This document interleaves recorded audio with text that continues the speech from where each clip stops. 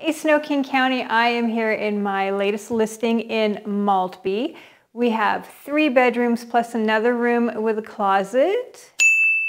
There is a potential for mother-in-law or maybe Airbnb space. It's great for multi-generational living. We have almost 3,000 square feet, over 0.8 acres, and it's a really cool house, some special touches. I can hardly wait to show it to you, so let's go check it out.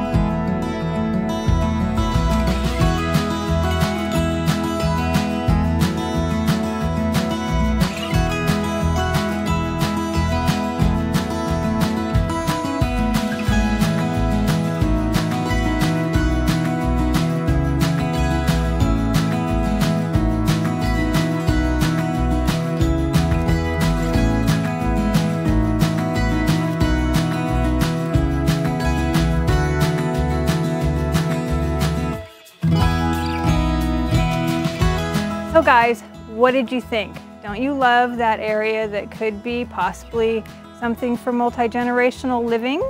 And how about this yard? It's amazing.